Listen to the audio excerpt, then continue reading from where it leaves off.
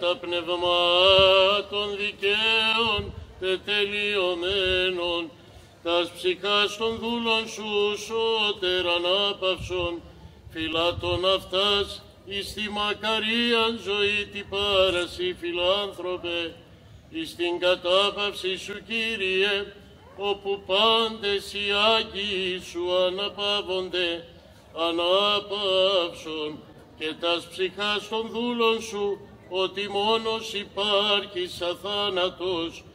Του Κυρίου δεηθούμε, Κύριε Λέησον, ότι Συ Ανάστασης, η ζωή και η μακαρή ανάπαυσης, πάντων συγχόντων και κοιμημένων αδελφών Ελλήνων χριστιανών, τον εν τη γενοκτονία και ξεριζωμό, εν τη μικράσια γενομένη Χριστέ ο Θεός ημών, και εσύ τη δόξα να αναπέμπομεν, συν του ανάρχο σου Πατρί και το Παναγίο και αγαθό και ζωοποιό σου πνεύματι, νυν και αεί και εις τους αιώνας των αιώνων.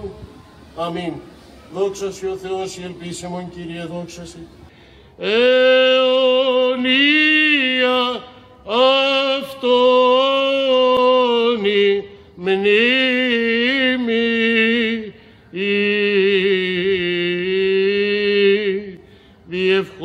των Αγίων Πατέρων ημών, Κύριε Ιησού Χριστέ ο Θεός ημών, ελέησον και σώσον ημάς.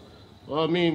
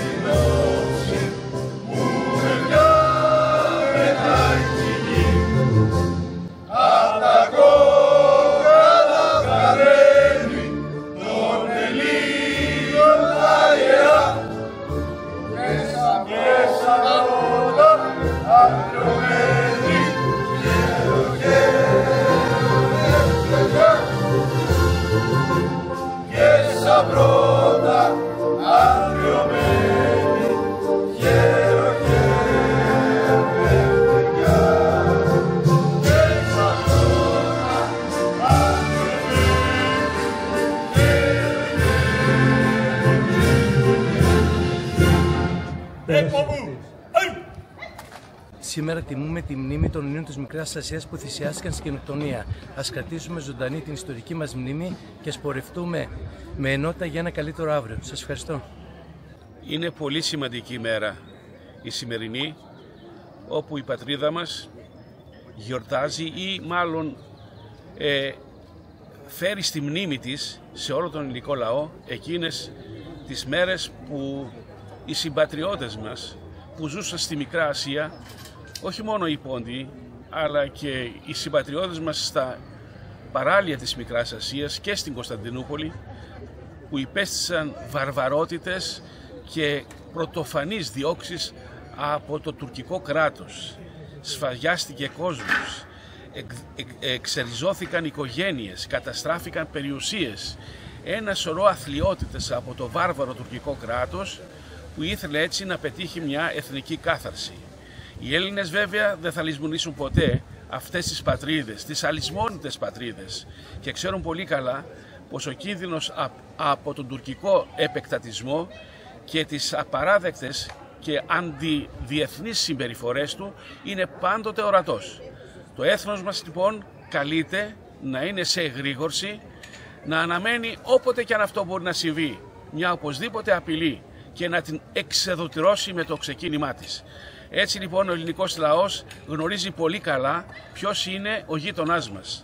Ένας γείτονας ο οποίος δεν έχει καμιά σχέση με την περιοχή αυτή. Ήρθε από τα βάθη της Μικράς Ασίας και είναι ο μοναδικός λαός στην Ανατολική Μεσόγειο που δεν είναι αυτόχθον. Είναι λοιπόν με το σπαθί, με τη σφαγή, με τη βία και τις λαιλασίες κατάφερε να φτιάξει ένα κράτος. Λοιπόν πρέπει αυτές οι μέρες να έρχονται πάλι στη μνήμη μας ώστε να είμαστε πάντοτε σε εγρήγορση και να τιμούμε φυσικά τους συμπατριώτες μας που χάθηκαν εκείνη την εποχή. Σήμερα τιμούμε τη μέρα μνήμης της Μικράς Ασίας. Στην περιοχή μας έχουμε πάρα πολλούς ε, που ήρθαν από τη Μικρά Ασία και για μας είναι ένα σημαντικό γεγονός που έχει συμβεί. Απλώς αυτό να μην ξανασυμβεί ποτέ σε όλους μας στην Ελλάδα μας.